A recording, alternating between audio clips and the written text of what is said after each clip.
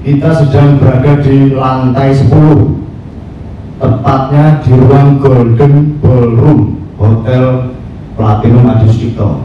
Alhamdulillahirrahmanirrahim uh, pada pagi hari ini kita diberi karunia oleh Allah Subhanahu Wa Taala diberi kesehatan sehingga dapat berkumpul pada kegiatan table manner di Hotel Platinum Adi Sucipto Yogyakarta. Yang ingin saya sampaikan uh, terima kasih Bu uh, untuk kesempatan uh, kerjasama ini yang kita bangun di awal ya baru pertama kali kita ke sini. Semoga nantinya untuk ke depannya kita dapat bekerja sama gitu dan untuk hari ini kami hadir bersama 9 bapak ibu guru dari SMK 1 Kaci dan 91 siswa jurusan tata hukum.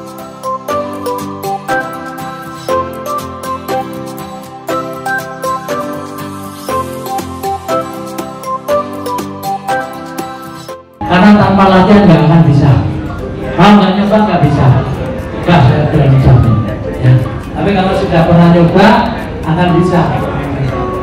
Dan satu kompetensi bisa bikin sini satu besok nambah lagi besok nambah lagi akhirnya semuanya bisa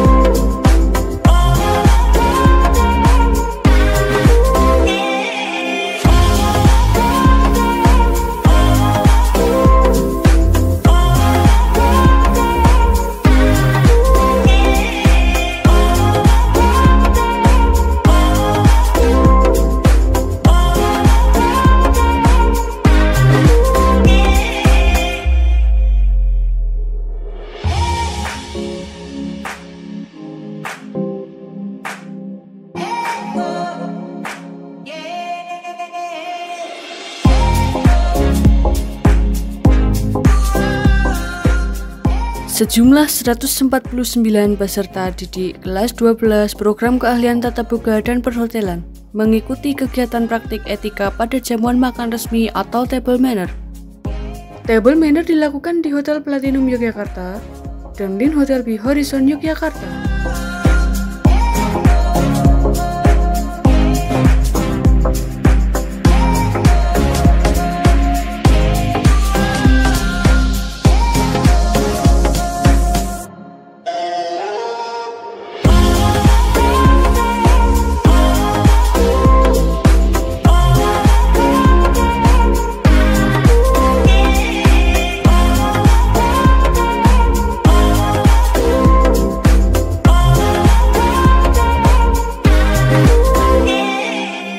Praktik table manner sendiri merupakan agenda rutin SMK Negeri 1 Pracimantoro. Sebelumnya, program ini diselenggarakan pada peserta didik kelas 10 sebagai bentuk pengenalan terhadap dunia usaha dan dunia industri.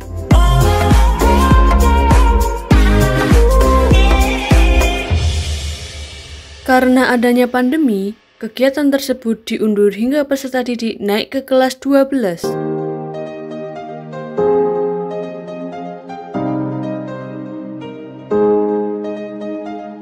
Acara ini berlangsung di dua tempat yang berbeda. Untuk program keahlian tatap muka diselenggarakan di Hotel Platinum Adi Sucipto, Yogyakarta. Sedangkan untuk program keahlian perhotelan diselenggarakan di Lin Hotel B Horizon, Yogyakarta.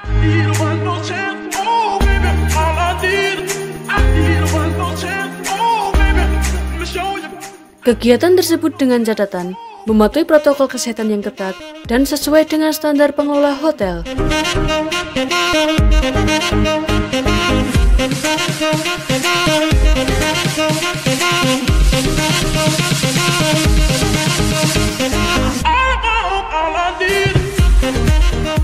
Peserta didik mendapatkan bimbingan tentang bagaimana cara atau etika jamuan makan resmi, mulai dari cara duduk, menggunakan alat makan, serta pengetahuan tentang sajian makanan secara langsung dari Food and Beverage Hotel Manager serta Head Chef.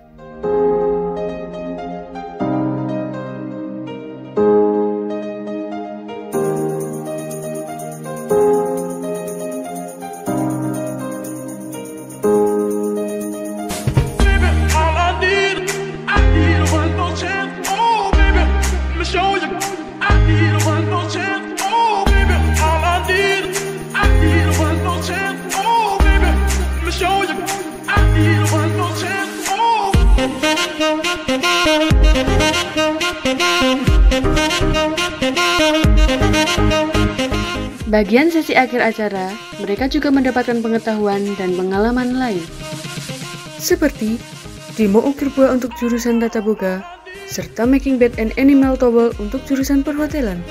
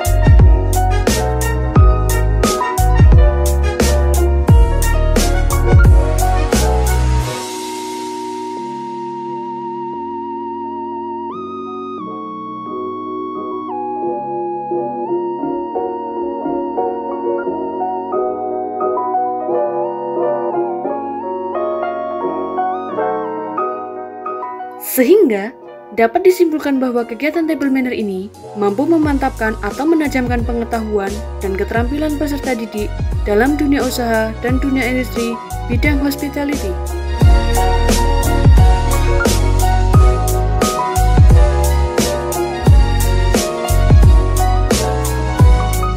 Lebih lanjut, Praktik etika perjamuan makan resmi bersama ini akan bermanfaat pada kehidupan pergaulan bisnis dan sosial peserta didik setelah lulus nanti.